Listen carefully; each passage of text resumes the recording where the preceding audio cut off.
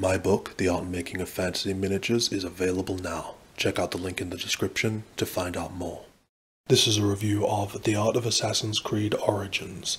I am a big, big fan of the Assassin's Creed games, and especially of the way they look and the worlds and just how well realized they are.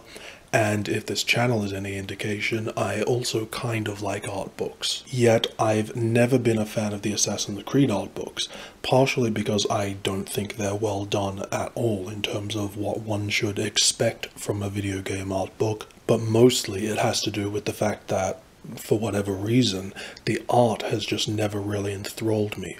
Of course, that's just my personal opinion, and you may well have a completely different one. I would never want any personal dissatisfaction I have with the art to turn someone off a book they might otherwise enjoy, nor undermine the enthusiasm of anyone who does like it. The single most determining factor in whether or not you should get an art book is always how much do you like what you're seeing in the flip through. Often you don't even know why something does or doesn't appeal to you. It just does, and that's fine. However, since I am doing a review, I want to at least try and articulate my impression of Assassin's Creed art as a whole, just so you know where I'm coming from when I get into this Origins book more specifically. So I think the smallest contributing factor is because the predominant art style for Assassin's Creed concept art is that muddy digital painting style that lacks definition and detail, with a lot of sketchy skid marks over the top and around the edges that just make it feel unpolished and cheap. And so looking through the Assassin's Creed art books always makes me feel like I'm someone with poor vision who doesn't have their glasses on and so everything looks kind of blurred. The fact that the text on the back of this book claims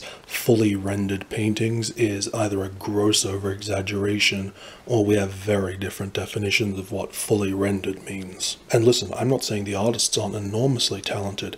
It is almost always epic and stunning work, just perhaps not rendered in a way I find especially appealing. But that feels like a minor issue. I think the major turnoff for me when it comes to Assassin's Creed concept art has more to do with the actual content of the art, specifically what's being depicted and how it's being depicted. The art rarely inspires the sort of excitement it should, and I don't feel it reflects what I love about the games. It tends to be pretty gloomy and moody. In fact, the actual word that comes to mind when looking at Assassin's Creed concept art is quiet, which might seem like a strange word to describe visual art, but that's the most accurate way to convey the impression most of the art makes on me. Quiet, contemplative, and somber, which actually sound like good words to describe a game about assassins, but to me it doesn't reflect the games which I think of as being so alive and exciting and richly detailed. Even though this Origins book largely follows the established art style, I feel it's a little less severe, to the point where this is the first time I liked the art more than I disliked any of the other problems the book has. But the main thing that's responsible for this appreciation is the Egyptian setting. I am completely in love with the Orientalist art from the late 18th to early 20th centuries, and visions of Egypt, Arabia, anything exotic really has always captivated me. And so I can't help but be drawn to that imagery regardless of the style or whether I feel it reflects the game. I would have also expected that to be true of the art for the first Assassin's Creed and Black Flag, but for the previously mentioned reasons, that just wasn't the case. I think a lot of that also has to do with the art for Origins being a little less dour and embracing more of the exotic. One thing that really disappointed me with the game was how the Egyptian setting was gypped in terms of having to share the game with a Greco-Roman influence. Since today we're all already so familiar with ancient Egypt being in ruins and culturally dominated, I had hoped the game would be set during a period that would have shown Egypt in all its glory. The book's design is also very nice and has great visual appeal overall.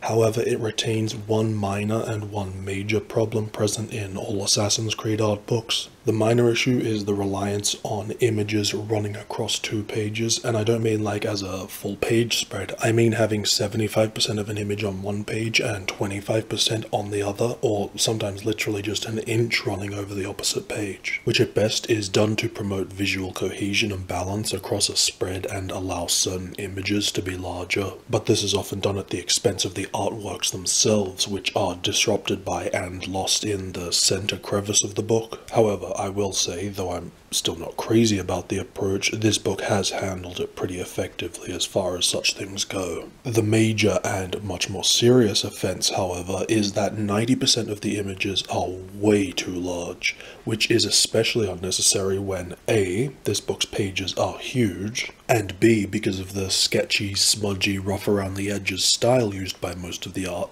these images tend to lack definition and detail and so don't need to be this big. Character art for Assassin's Creed is usually a bit more detailed than the environment and key art, but even so, having a single image of a character take up an entire huge page is something I hate. Because even when that size is okay, there's usually a lot of space where they should have put other images or text on the page, which is very important because that leads to what I'm sure will be a point of huge dissatisfaction for a lot of people, and that is there is zero design exploration or evolution of the character designs. The only sort of exception being Cleopatra, who's shown with two other looks, and Bayek maybe has some different costume sketches, but basically he's the same as he appears in the game. But beyond that, we're not treated to any exploration of the character's designs, no alternative or unused ideas, nothing. Which is particularly frustrating when the text makes reference to that. So for example, with Layla, the accompanying commentary says, we went through a lot of iterations for Layla, yet the book only has one image of her looking exactly like she does in the game. Ditto the spread on Aya, the text says we worked on several hair, face and costume options, and yet what do we get?